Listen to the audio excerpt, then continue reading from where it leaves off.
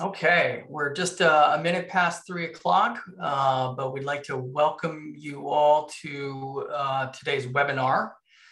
Uh, this is the Forum webinar series, and my name is Shaw Sprague. I am the Vice President of Government Relations at the National Trust for Historic Preservation. Uh, I'm very pleased to welcome everybody here to our webinar which is going to focus on uh, a summer federal advocacy with a focus on conducting in-district site visits. Uh, we have some great info to relay uh, from a really outstanding panel. I think you're going to enjoy today's conversation. Uh, before we get started, however, there are a few notes uh, about the presentation today. Uh, first, we'll take questions uh, from the audience during the webinar, uh, but please do send those questions via the Q&A function, not through the chat. Uh, Q&A is preferable. Uh, you can submit those at any point, but we will take up the questions at the end of the presentations. So um, um, feel free to submit those. And in the meantime, please do use the chat function to communicate uh, with participants. The closed captioning function is also enabled for this webinar. Uh, you can enable it and disable it either through the controls at the bottom uh, of your Zoom screen or through your audio settings. Uh, and following the program, we will be sending out the recording uh, of today's webinar as well as the shared resources directly uh, to the email that you use to register. Uh, and finally, all the Preservation Leadership Forum webinars are uh, archived in our forum webinar library. So make sure to take advantage of that resource uh, uh going forward. Uh, next slide, please. So as the uh, roadmap for today, we're going to hear from five speakers. and after that, you'll have an opportunity to ask them questions through the Q&A. Uh, we'll first give a quick update uh, on legislatively in Washington and the uh, quick roadmap ahead.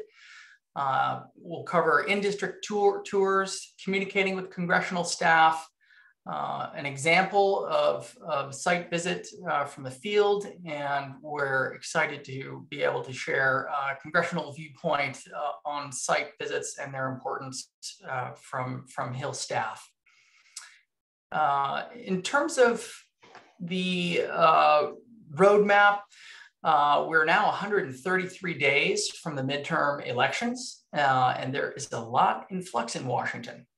So against the backdrop of the midterm elections, which tends to favor uh, the party not in power, we're seeing Washington grapple with major Supreme Court rulings the January 6th committee, the war in Ukraine, record setting inflation, and ongoing global pandemic. So all of which have the potential but to become a driving issue come November. So uh, a very dynamic situation.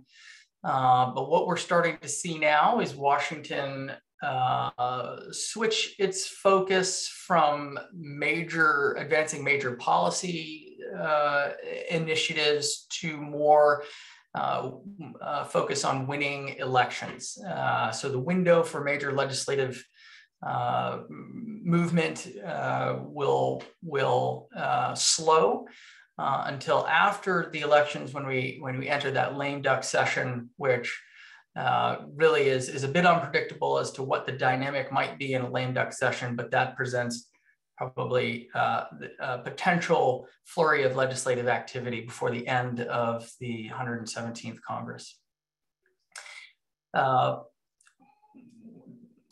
the um, opportunity, though, we have today, uh, we look forward to, to getting to our panel, is that uh, the historic preservation field has a number of opportunities through uh, to advance policy priorities like securing strong funding for the Historic Preservation Fund, and advancing legislation to improve the historic tax credit uh, through um, the uh, August recess period, uh, which is the in-district period when members are back home. And we look forward to having a conversation about how to take advantage of that and what you can do to uh, set in motion good, good visits uh, that'll be particularly impactful as we try to position our historic preservation priorities for, for uh, the legislative opportunities for the remainder of this Congress. So uh, an in-person visit to a historic site, a main street or a historic tax credit project is one of the most effective ways to convey the importance and impact of our work. And it's my pleasure now to turn it over to my colleague, Renee Kuhlman. Renee is the Senior Director of Outreach and Support at the National Trust. Uh, so without further ado, uh, Renee. Well, thanks. I really appreciate that. Um, one of the things that I usually say is that if a picture is worth a thousand words, then a site visit is worth 10,000. Um, so I think this is one of the most effective ways that you can advocate uh, for your preservation priorities. So we're excited to share some tips with you today. Next slide. Um, we have a couple of great examples up here that I wanted to share with you all. Um, this is the former mayor on the right of Boston, um, and they had a program called Mayor on Main Street. Um, and this is where the mayor would get on a trolley um, with his cabinet, department heads. They would depart City Hall um, and they would visit uh, about 12 award recipients from the Boston Main Street program uh, and they would have these stops over three days. So it gave them an opportunity to showcase to the mayor exactly the work of the main streets and um, the advocacy asks that they had. They, as you can see, they're right next to the mayor and heads of departments, um, as well as his cabinet. So it was a great opportunity for them to directly advocate uh, about their priorities at the local level. And then on the left, you'll see um, a great example of a, an advocate who we awarded uh, the John H. Chafee Award for Public Policy because Heritage Ohio has done such outstanding work um, both at the local level as well as the state level and federal level in terms of advocacy. And here you see uh, the former director and other um, Heritage Ohio board members and staff um, with Representative David Joyce advocating for the historic tax credit. So these are just a couple of examples of how you can use this great tool. Uh, next slide. Oh, sorry, one back one. Um, we are attaching a handout for you that will give you uh, a couple of uh, specific things that you need to do um, and these are some tips that we've learned the hard way and things that will help you. Um, first of all, you need to decide which preservation project in your area offers the most bang for buck. Um, for example, there are some uh, sites that you might have under rehabilitation that you want to show uh, construction underway. You might have projects that you're hoping that if you did get federal dollars that you could rehabilitate. Um, you might have other needs at the state, like say you're going to try to get a state historic tax credit and you want to try to show the benefit um, of what a potential project would do if they had state dollars. So you need to come together as a group and decide which are the sites that you're going to um, to prioritize as showing your, your official. Um, the other one is it helps to have a large body of people, and I know that my colleague Mike Phillips is going to talk about that uh, in addition. The other one is to have a wide range of dates because what we've learned is that actually scheduling these is the hardest thing to get accomplished. So having a wide variety of dates in addition to a wide variety of partners is important.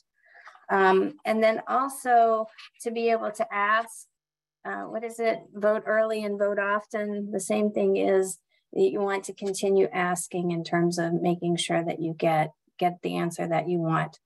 And to not be discouraged if you get a staff member and not the actual official because staff can then convey that information and then hopefully in the future arrange a site visit. One of the things that I think is most important is to actually make the ask. You have to have an ask. It's just like in fundraising. It's great to have all the supporting materials. And I think when you do have the materials, you need to show both statistics as well as the stories of the humans that are actually being impacted by this policy. Um, but actually, you have to have somebody there um, making a request of the official. So it's not just a time when you're out of the office and everybody's having a great time, but that someone actually does make a request. Finally, you don't have to have all the answers. I do that every day in my job. I don't have a lot of the answers, um, but you always need to promise when you follow up and thank them for the visit uh, with any information that you that you promised them. Uh, so Mike, I think, is our next uh, person up. And Mike and I have actually done a lot of these visits together. So thanks, Mike. Sure. Thank you, Renee. And it's good to be on this webinar. We've done quite a few site visits and we have learned uh, what has gone well, what uh, kind of worked, and what really didn't work. So there's a wealth of knowledge um, over the years of, doing this. I mainly advocate for the historic tax credit. So we've done a number of these and we did a lot of these when uh, tax reform um, was going on. Uh, I'm with National Trust Community Investment Corporation. We are the for-profit subsidiary of the National Trust uh, for Historic Preservation.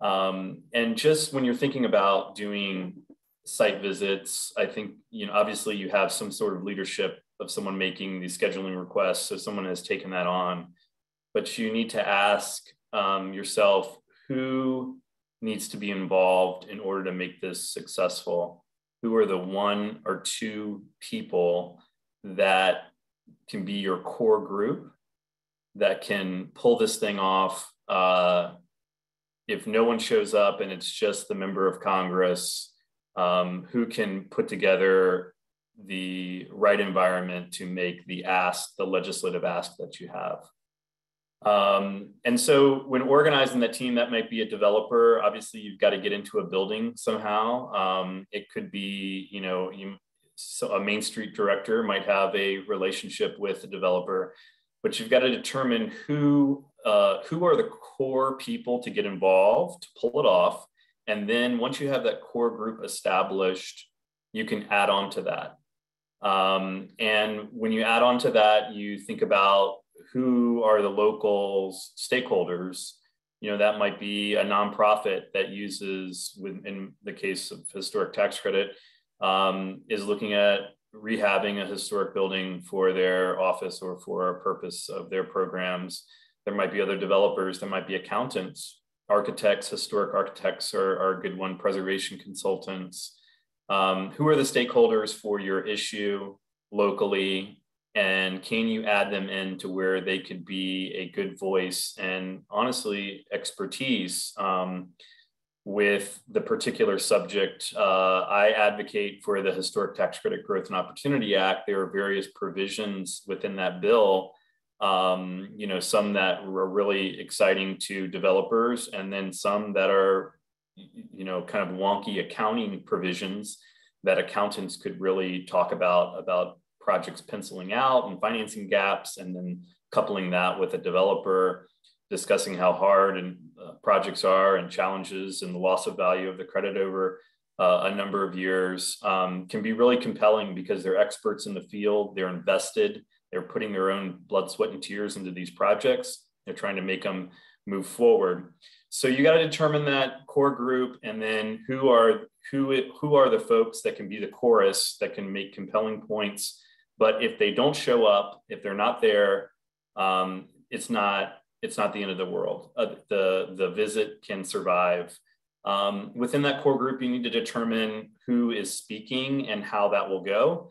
I would suggest that you know 60 or 70 or even 80% of the speaking comes from the core group and then there is an opportunity for those other folks to speak either at the end, um, at the beginning, maybe to introduce themselves, and then at the end to discuss just their role uh, and, and the, the provisions that you might be um, seeking.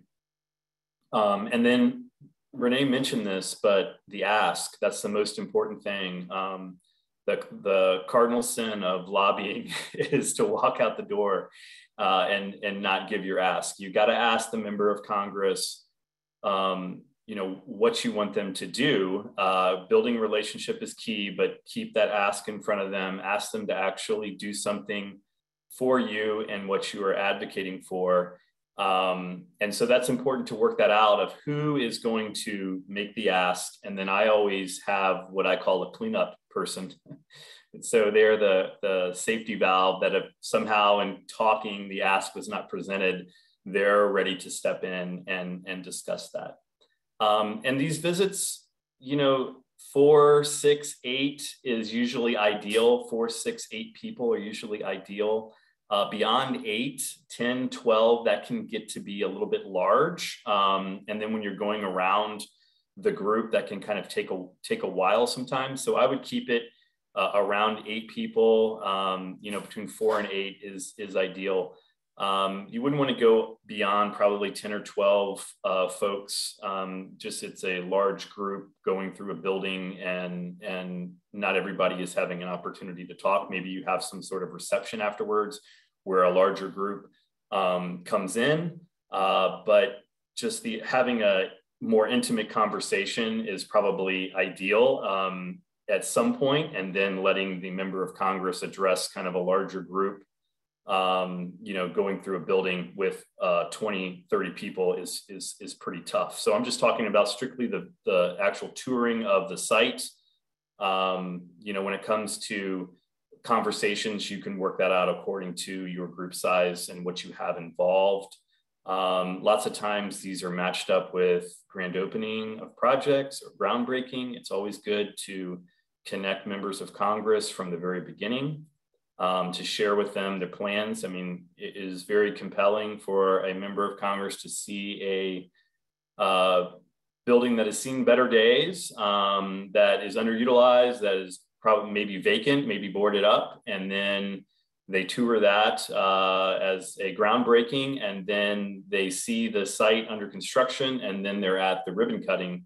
And they've been there from the very beginning of the rehab um, of this building. They're invested um, and honestly, they they feel connected to the to the project and feel like that uh, they are making a difference um, in their community, and they are if they are helping move um, provisions forward. Um, the last thing I'll talk about, well, first of all, just you know, work out who communicates, who's going to speak, how you're going to go through the flow. Um, usually, introductions are fine. Do the tour and then discuss uh, challenges and the provisions and the ask and let everybody introduce and discuss their connection with the legislation that, that you are, you're talking about. I will say though that you need to have contingency plans um, if if something you know someone does not show up if if the member of Congress cannot make it lots of you know many times I won't say lots of times but many times uh, busy schedules um, make it to where a member of Congress is not able to to show up and they have to cancel um, if it is a gr groundbreaking or ribbon cutting or something like that, or some kind of function for the larger public, the show needs to be able to go on without the member of Congress um, coming. So you need to make sure you have the program set to where the event can survive, even if the member does not show. Now, if it's, you know, four to six people and they're doing a tour with a member and they cancel, you can work on rescheduling a tour. But if it's associated with a larger event, um, you need to make sure that that event can be successful, even if the member um, is not able to show. Um, and I think Lauren will discuss scheduling, but all of that is part of the um, you know planning of everything. So work out with that core team. I think that's the most important part. Uh, get your materials uh, ready for what you're going to present to the member of Congress. Doesn't have to be a lot of handouts. One piece of paper is fine, uh, just for to hand to a staff person. Um, but get the core group together uh, and add experts um, to have a conversation that is compelling um, to drive what you're advocating for and to drive the ask. So thanks. I think we have Lauren next. Thanks so much, Mike. Hi, everyone. My name is Lauren Cohen. I'm the Associate Director of Government Relations uh, at the National Trust for Historic Preservation. I'm thrilled to be with you today to talk about this, um, about getting people to come to your uh, in-district meetings, getting elected officials to come to those in-district meetings. Um, you know, a lot of the references that Renee and Mike and I have made so far are directed at federal elected officials like your member of Congress or your US senators, um, but this can be applied to state and local elected, elected officials too. So just kind of keep that in mind. Um, but you know, I come to you with uh, the background of a former congressional staffer. So I know what it's like to get these uh, requests to come into the office, either in Washington or the district office, or to have a site visit. So, um, you know, I'd like to just kind of go through a little bit about uh, what you should do before, during, and after uh, an in-district meeting or in-district site visit. So we can just go to the next slide, please. So work with the scheduler and district director. Get to know these individuals and let them know your priorities well in advance of when you'd like the elected official to visit your site. They can advocate for you to the member of Congress to get a visit on their very, very busy schedule. So, you know, keep in mind that there's a lot of demand on the time of these uh, members of Congress. So when they're in the district, they want to make sure that they are making the most of their schedule, the most of their time. Uh, so you know, if you get to know the scheduler or the district director, you know, they can um, work to make sure that you are on that schedule um, and not get bumped by another uh, interest group or another uh, another organization looking to get some of their time. Um, and to that end, be flexible. So have an understanding of when congressional recesses are, like the upcoming month-long uh, August recess, and offer options for a visit during those recess periods. So for instance, you know, if you're looking at the congressional calendar, don't ask for a visit when you know that they're voting in Washington, D.C. Um, ask for visits when they're home for their uh, district work periods is what you often see it called, or their state work periods.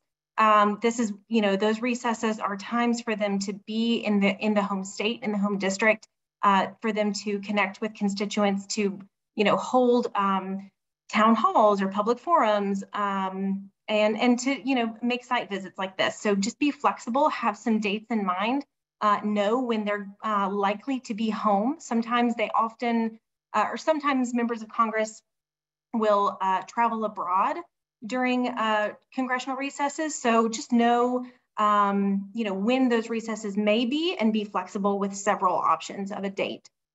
Uh, also, follow up with the names and affiliations of all of the individuals who will attend the event.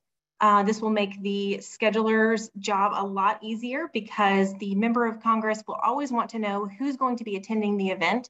As Mike said, you know, try to keep those groups uh, kind of small. If it's a if it's a tour, if it's like a big you know ribbon cutting or public event, uh, you obviously you know don't know all of the people who are going to be at that public event, but um, definitely let the congressional staff know uh, who that core group is, the names, their titles, affiliations. That'll be really, really helpful for them.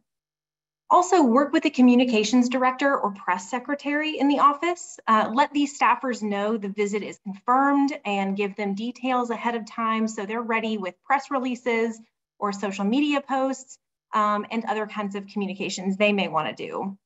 It's also a really smart courtesy to give them notice on any op-eds that you or your group might want might want to uh, submit or any press releases that you'll be writing so that they're prepared uh, to be able to share that as well. Uh, remember, you're working with these offices toward a goal. You're not opposing these offices. So you're trying to work hand in hand with these offices to make this a really good visit for both parties, for you and for the elected official. Uh, so giving them a lot of advance notice is going to be really, really helpful and very appreciated. Uh, also, before the visit, sign up for office communications and social media. This will make it really easy for, you know, while you're on the visit, if you want to quickly share a photo or tag, you know, the, the member's um, social media account, uh, it'll make it really easy for you to do that. And also any office communications, you know, they may announce you know, I'll be at this ribbon cutting this weekend or something like that. So you're able to share that on your channels as well. Lastly, before the visit, do your homework. Um, know what committees the member of Congress serves on. So do they serve on the Veterans Affairs Committee? Talk about how the site or project serves veterans in the community. Do they serve on the Transportation and Infrastructure Committee? Point out public transit stops near your site. Or, you know, does the member of Congress have a child who's active in the theater department at school? Well, make that connection with them when you're at a historic theater or an arts venue that you're talking about. Uh, knowing details about the member of Congress will really, really help you make that personal connection. And really what these office, uh, these uh, in-district site visits are all about is continuing to create a relationship with these decision makers so that when you do have an ask, uh, they're more willing to listen to you, to take you very, very seriously, to know that you are uh, a trusted entity in their district, in their community, and as a constituent. So this is all about building that relationship with both the elected official and with their staff. We can move on to uh, talk about during the visit. So be sure to take photos and use social media. As I mentioned before, uh, members of Congress love having photos taken out in the wild, so to speak. So be sure to take and post photos of your team uh, with the member during the visit. Uh, have a good mix of candid and posed photos. You'll see some later. You've already seen a few um, that Renee shared. Um, tag the appropriate accounts so everyone sees it and sees that it was a great visit and then they can repost it. Um, these photos will also be excellent for you know, future newsletters or board communications you may have or any future interactions you might have with that member of Congress as well. Also during the visit, tell authentic stories. This can be your dedicated time to tell compelling and authentic stories about the site, about the community impact, and about what's at stake because you're going to come in with an ask shortly. So tell those authentic stories. Also use reliable data. Uh, Mike just mentioned this, but be prepared with important information like job creation or tax revenue or any other pertinent figures.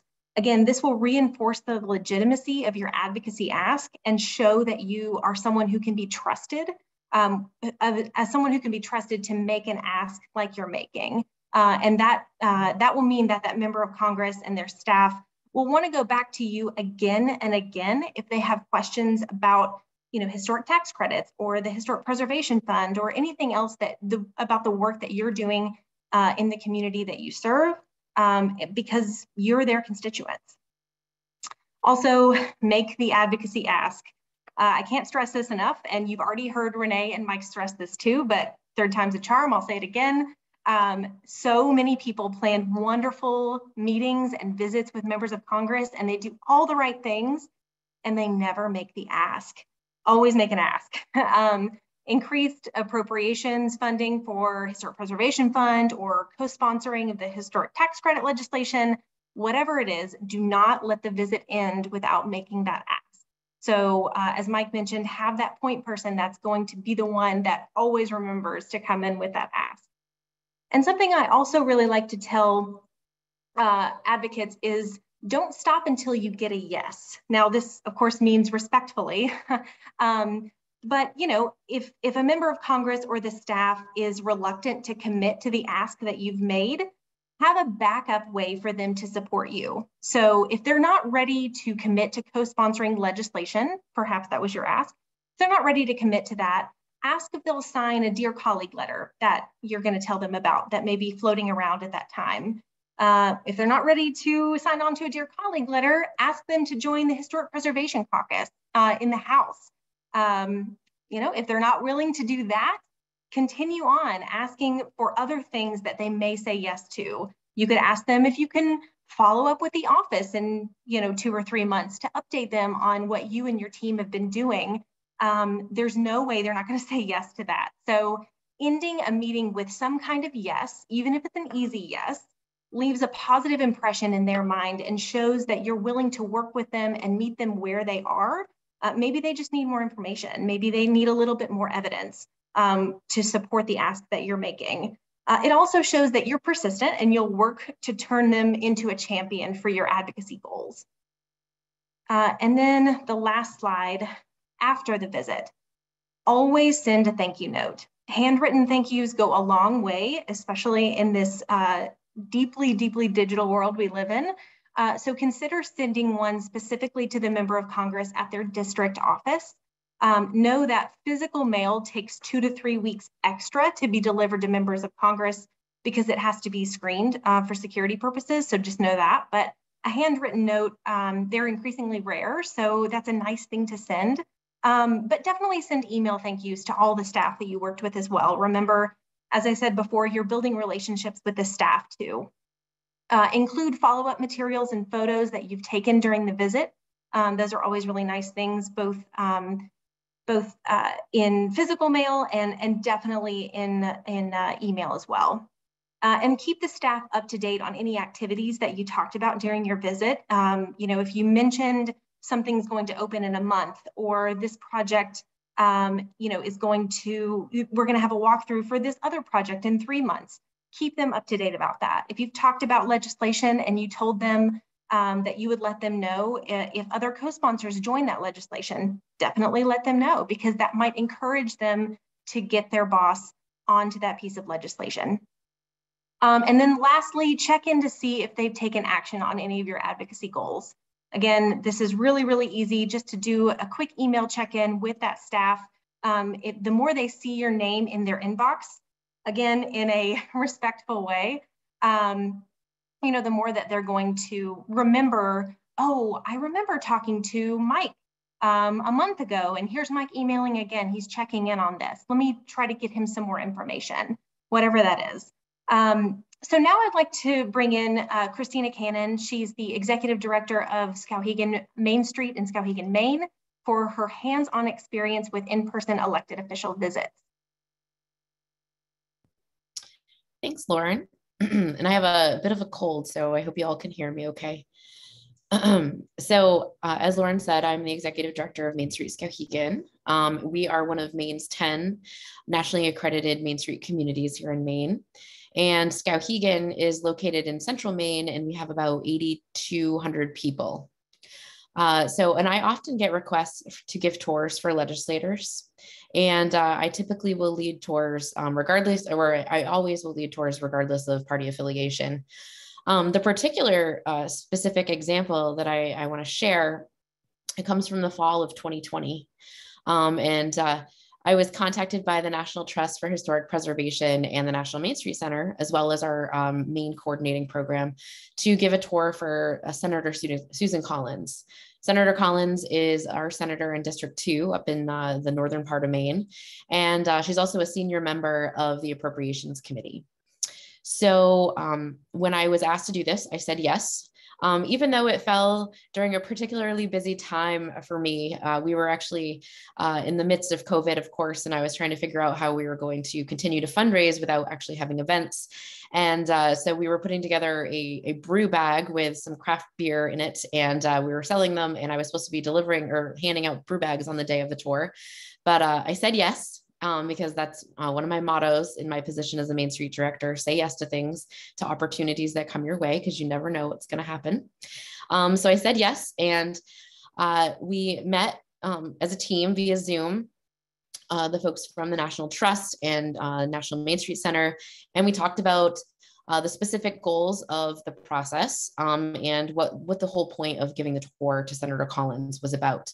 Um, the goals at that time were share specifics about historic preservation projects in our downtown and the importance of those projects, and uh, obviously the importance of the Main Street program as well.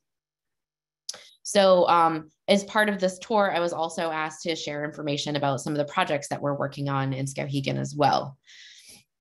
So after we met as a team via Zoom, I was put in touch with one of uh, Senator Collins' staffers, and uh, he came up to visit Skowhegan, and we did a dry run of the tour. We actually walked the whole tour. I, I went over my talking points, um, and we timed it out to see if it was going to fit into the the time that we had. I had already been given the, the amount of time, so I kind of timed it accordingly, and then we did the walkthrough. Um, and then we stayed in touch after that until the day of the actual tour. So um, if there was any questions, I was able to answer them and that sort of thing. Um, and then the day of the tour, um, it was really just a conversation with Senator Collins and I. Uh, she had uh, a bunch of people with her, and of course, there were several community leaders um, and others who attended, as well as uh, Shaw from uh, the National Trust for Historic Preservation, um, and so, but it was just really us having a conversation. And I was able to share with her all of the talking points um, and all of the projects that we're working on in our downtown. Uh, in addition to the tour, we actually also did a little meet and greet at the end at a at a local restaurant, a little patio outside, where we were able to to share, um, where she was able to meet some other community leaders. So um, one of the things that I was excited about sharing with her was uh, a couple of um, goals for our strategic plan, or from our strategic plan, and the vision vision for the future of Skowhegan. So we are actually working on uh, building a river park in our downtown. And so if you've ever been to Salida, Colorado, or um, uh, Boise, Idaho, for instance, uh, these communities have these great river parks where you actually can surf or kayak right on a, a, a constructed wave right in it, either a community or in a river um, somewhere near a community. And so uh, we are, this is a picture here of a, a, rendering of what our future river park will look like. And uh, we will have, you can see there's um, a, a, wave feature at the top that's going to be a static wave for kayaking. And then the second riffle below is uh, actually going to be an adjustable wave feature for river surfing. Um, in addition to the river park, you can uh, see to the right, there is um, going to be a riverfront promenade with viewing areas. And uh, we're also planning for an estimated 50 miles of trails that will be um, adjacent uh, to the river park and accessible via our downtown. So I was able to share all of this. We actually walked out onto the walking bridge and, um, and then the the group that we met with at the end of the tour talked about this project. They talked about the great collaboration happening in skowhegan uh, our strong partnerships our partnerships with the town and the, the municipality. And we were really able to tell the story of skowhegan and the work that's happening and the importance of our main street and importance of the historic preservation but also other projects that we're leading. And um, so after the tour uh, we stayed in, t- I stayed in touch with uh, her staffer, Mark Winter, and we built a relationship um, and we still uh, talk today um, whenever we see each other out. Um, but there was an opportunity that came up about six to eight months later um, the earmark, the new opportunity to apply for an earmark or congressionally designated spending um, fund. And so we actually submitted to Senator Collins um, a request for a $2 million earmark to fund, um, to help fund our River Park project. And uh, we were very lucky because we actually got that $2 million. Um, we just learned about it back in March. It was a nearly a full year of waiting to hear back. Um, but Mark would call me and, and let me know where we were at with the process with the appropriations bill and, and how it was moving forward. And uh, so we submitted actually to Senator Collins and Senator King, our other senator in Maine, and uh, both of them worked to push it through. But I really stayed in touch locally, or like mostly with Senator Collins, and um, they were really champions for the project. Um, and actually, Senator Collins gave me a personal phone call um, to let me know about the about the two million dollar earmark. So it was uh, a hugely important um, step towards completion of this project, and um, we wouldn't be as far along without this, of course, two million dollar earmark. Um, so we're really excited about it, and it just goes to show what happens when you say yes to an opportunity uh, you you put your best foot forward when you give a tour to um, to anyone that you're giving a tour to, but particularly uh, legislators, and um, saying yes to things. It's it's really important to take opportunities when you can, uh, when when you have them fall on your lap. Actually, so uh, so yeah, it was a it was a great opportunity, and um, so yeah, that's that's my story.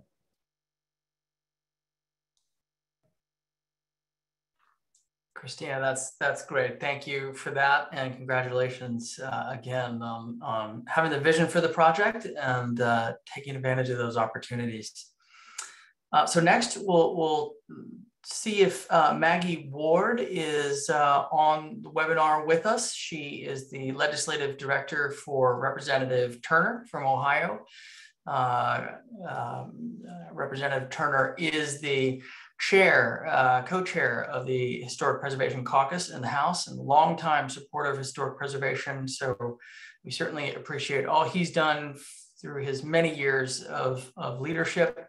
And uh, we're very pleased to have Maggie, uh, hopefully with us today, who can, who can speak to the, uh, from the staffing point of view of the importance of these, these site visits. So let me pause there and see if Maggie has been able to join us.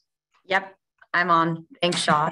Great, thank you. Um, so, yeah, as Shaw said, I am Congressman Turner's legislative director. Um, Congressman Turner is the co chair of the House Historic Preservation Caucus. And in his capacity as his legislative director, I oversee um, all of his domestic policy portfolio with historic preservation being included. Um, and so I have not only staffed him for um, our historic preservation related visits in Dayton, but also in DC. Um, and I thought Christina really hit the nail on the head um, in making these visits effective when she talked about um, how she was prepping with staff beforehand um, and then talked about how um, she was able to get an earmark out of it. Um, I think what's really important to do is staff, I mean, generally across all offices, um, prep their boss before they do these types of visits. Um, and so that looks like, you know, telling them like what they're planning to talk about. Um, so letting us know like if there's any legislative nexus between um, the visit and any goals that that your group has is super important. So we can flag it for our boss ahead of time, and then they can bring it up to you while they're visiting. Um, and, it, and it gives them a really good opportunity not only to have context when they're speaking with you about this, but then afterwards, when um, there's a related piece of legislation on the floor, we can say, oh, hey, wait, we had a conversation with a group about this. Let's go talk to them again. Um, so that I always think is wildly important.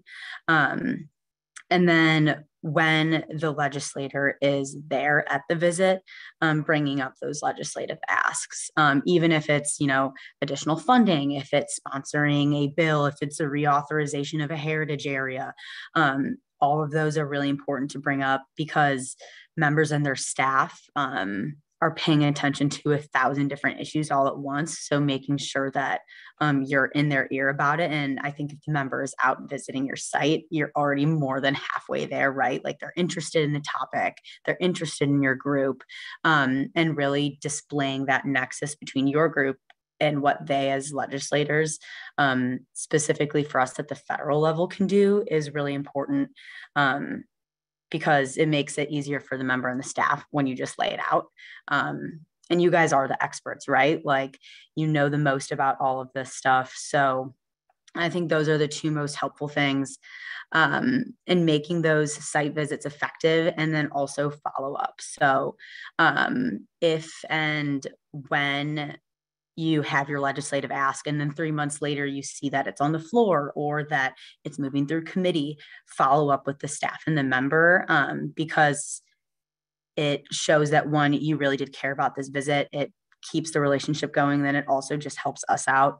Um, like I, am even thinking like last week a couple of groups flagged different policies for us that the congressman had supported but that i hadn't been um, totally paying attention to because there was something else huge happening last week right? So continuing that dialogue even after the site visit i think is also effective in making sure that whatever goals or ideas you talked to the member or the senator or their staff about um, really follow through with them. It, it's it's super helpful, um, and it definitely builds that level of trust and dialogue and shows us that you remembered what we talked about and that and that you know um, you're doing a go- good job tracking that. It's it's always super helpful for us because there's like you know so many different things going on. Um, but yeah, I think those are like the three biggest things is um, you know making those goals clear, the follow up, and then um, preemptively letting staff know what um, sort of legislative nexus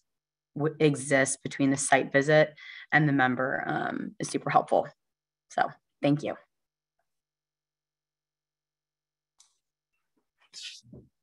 Maggie, thank you so much for making time and providing some, some really good insights. Um, always so helpful to for folks to understand how busy uh, uh, legislative staff are and uh, and some of the tips for for uh, maintaining that relationship going going forward and how quickly um, how, how many constituents you're meeting with on a daily basis and how how many issues are popping up so uh, you really can't expect staff to uh, remember. And so it's it's incumbent on you to to uh, keep that issue visible for for staff. So uh, Maggie, thanks for for emphasizing that point. Uh, so now we're going to turn to the uh, Q&A portion. Um, we've got a few uh, questions teed up, but I thought um, perhaps I'd, I'd start with uh, one for Maggie. Um, um, you know, we, we, we're focused on district staff uh, a little bit here. Christina was working with district staff. Um, and, and, of course, it's it's great to connect with district staff. They are the eyes and ears on the ground, and um, do provide legislative staff with with um, you know updates and priorities from from in district.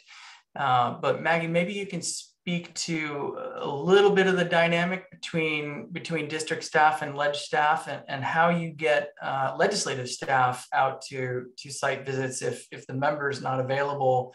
Uh, how often how often do ledge staff get get uh, to take a tour in district? Um, okay that's a great question. It definitely varies from office to office. Um, so i personally work very closely with our district staff and um, a lot of you know some of our legislative ideas manifest out of meetings that our district staff takes and they're saying hey we keep hearing this or hey like we've had so many like casework issues with this and then it, it manifests itself into a legislative ask but getting ledge staff out to a district state to visit.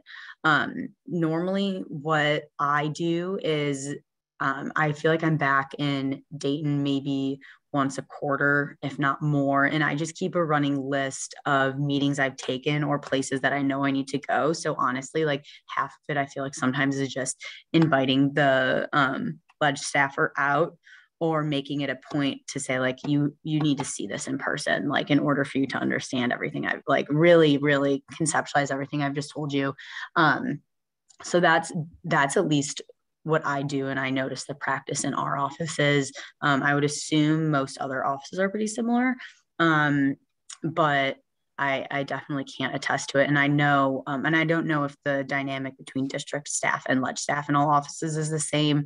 Um, I would definitely say ours is pretty good. We work very closely with each other. Thank you. That's great. Uh, we have a question uh, that's come in. Uh, I think this could be answered by, by multiple folks on the panel. Um, but what talking points do you find the most impactful between data, economic stats, jobs, etc., versus human-driven stories? Uh, and you know, does it depend on which elected official you are speaking with? Uh, I will I will frame it and then uh, give somebody a chance to jump in here. Um, uh, but I, I, think both both those uh, talking points are important. I think each visit should probably have both uh, prepared to be most effective. Um, but let me pause there and just see if if some of the experts want to want to jump in uh, to help answer. Well, I think we we all could probably jump in and you know yes yes and yes. I think um, uh, the economics uh, to which you can explain are are positive. The jobs numbers everybody's looking for jobs number job numbers. And then also the um, human driven stories bring a you know a personal um, connection to um, the visit. So I would say all of the above. Sometimes not all of those can be produced, but what you can produce and you're I like the way you're thinking and you're thinking the right way and amplify um, all of those to whatever extent you can. But I'm Renee and Lauren probably have some thoughts too. Yeah, no, I, I think that's exactly right. Try to try to blend those elements as well as you can. Uh, it does depend, you know, it can it can depend on the member of Congress, the elected official, the staffer that you're meeting with, um, how hard you need to lean on one or the other. But having a blend is is always the you know the right formula, I think. Um, it also depends on the ask you're making as well. So, you know, if your ask really is, can you join the Historic Preservation Caucus? Um, that's not going to need as much like hard, hard data for that kind of ask. If you're talking about, um, you know, signing on to a piece of legislation or, or something like that, that, that might need a, a heavier hand on the on the data, but I, I never ever think you should skimp on those authentic human stories about um, how this work uh, contributes to your communities. I just want to say, as a, a preservationist, I think we have the um, the bonanza of having pictures that are pretty amazing. The before and afters. I've been in offices where people go, "Oh my gosh," you know, um, and I've also seen people say, "I didn't realize that that place that I go to all the time was rehabilitated with either state or federal tax credits that I didn't realize what made that rehab possible. So I think pictures are a great way to then engage in conversation. Um, I am particularly nervous about numbers. I get really shut down when I see a lot of numbers, but I have also seen people's eyes just light up when they're shown these amazing statistics. And even I can understand graphs and understand where the projection is going. So I do think if you do do numbers that having a graph is also particularly helpful for those of us who might not be as comfortable in that field. I would also encourage people because of our preservation background, a lot of us are focused on the building, but it's also important to include pictures with people in them, actually using a building. So it's a it's a shocker, I know, but but having the building in use is important. Thank you, Renee. Uh, we have a question perhaps for Maggie, uh, and I don't know if, if you're familiar with this legislation, but we had a question about the status of the Revitalizing Small and Local Business uh, Business Act. Uh, Maggie, if that's something you worked on, maybe you can share any updates. So I don't know that bill, and I don't think um, the congressman is a co-sponsor, but um, I am interested in knowing the bill number so I can look at it now. Um, but no, and I, I, I don't know if that if that the name of the bill sounds like it would go through small business, but I don't I don't know um, if their committee has had any markups recently. It is a committee work week, so that could be something they have cooking this week. I just don't know. I'm sorry. No, that's perfectly fine. See, that is how uh, the communication chain works. Somebody asks a question, and the legislative director for Congressman Turner now wants to look up this piece of legislation. So, thank you for that question. Um, uh, Gail has a question about local uh, uh, board and town officials and uh, communicating at that local level. Um, um, Renee, do you do you have some thoughts for best practices on on maintaining and building a relationship at that at that local level? Sure, and I'll I'll then turn it over to Christina. Um, one of the most effective uh, Main Street managers uh, actually won the Great American Main Street Award, and had the pleasure of going around uh, with him up on the hill, and he carried his heavy metal must have been 20 pound award all around Congress. Um, but he told a great story about local advocacy, which I've always remembered, and that is the power of having a few people with different perspectives weighing in. So he was trying to get money for his Main Street program. They had canceled the money that was coming from the local program uh, from the city. And so he had people uh, communicate their interest about maintaining this funding. And he had, I think he had only like seven people, but it was different, representing different interests, right? The business owners and uh, the people who had the hotels and all the different aspects. And he got a call from the town manager saying, lay off, there's so many people weighing in. Um, and so even though it was only seven individuals to the person who was receiving him, it felt like a lot. Uh, so I think that's the power of having different perspectives represented.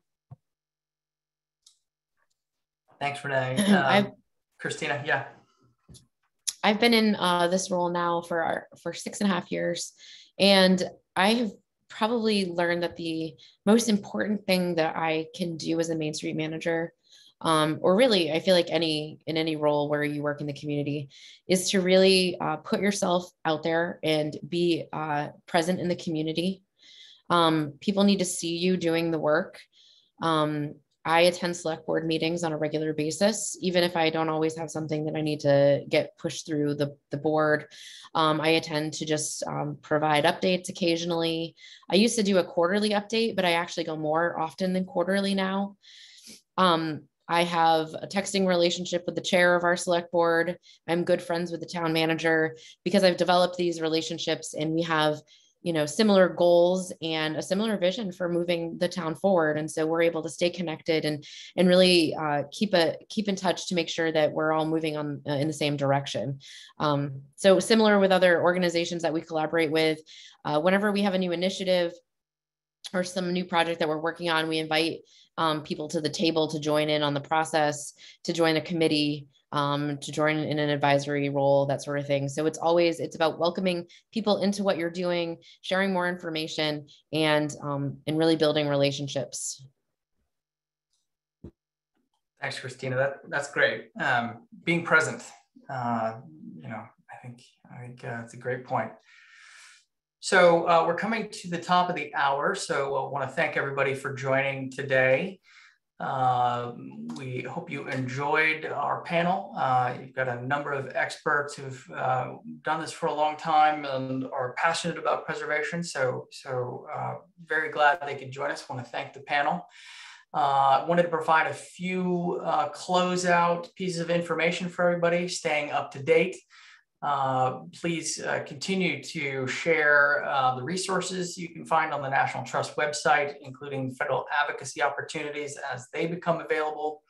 Uh, visit our website, uh, forum.savingplaces.org, and, and our social media channels as well. we also have a government relations advocacy newsletter. If you have not signed up or are not receiving that, sign up for it. Um, that's a, a monthly uh, update of things that are happening that month, uh, as well as several ways to take action on those advocacy priorities. Uh, and always keep an eye out for future webinars. We, we try to do these fairly regularly, so please continue to join us for that. Uh, and lastly, uh, we like to emphasize the message, keep talking, uh, talk talk amongst yourselves, as they say. Uh, Forum Connect is uh, our online community, and uh, we review that often and look to that to understand what's happening on the ground and, and with communities uh, working on historic preservation priorities. So please be sure to contribute to that so uh, you can help inform our work at uh, local, state, and national levels. it is free to open to everyone, so please take advantage of that. Again, here's our website, forum.savingplaces.org. Uh, if you if you type in the hyperlink to webinar, you'll see the upcoming webinars and contact our forum staff who are diligently working behind the scenes today. Uh, feel free to contact them at forum at savingplaces.org. And with that, we will wrap up our webinar. Thank you everybody for, for joining. We look forward to uh, presenting to you again in the future. Uh, and please don't hesitate to, to be in touch uh, with follow-up. Thanks again.